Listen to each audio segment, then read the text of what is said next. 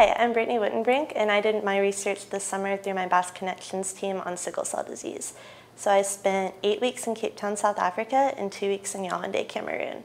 And my research focused on the social support that sickle cell patients and their families receive. I also looked at the medical resources they have access to, as well as the general challenges and burden of disease. Um, I learned a ton this summer from being able to do 57 interviews with these patients and their families. Um, I learned about a lot of stigmas and rumors associated with sickle cell, as well as certain challenges such as the lack of blood banks in Cameroon, where patients have to find their own blood donors when they need a transfusion. Hopefully this research will point out the lack of certain resources that these patients have, and they can be addressed by different interventions.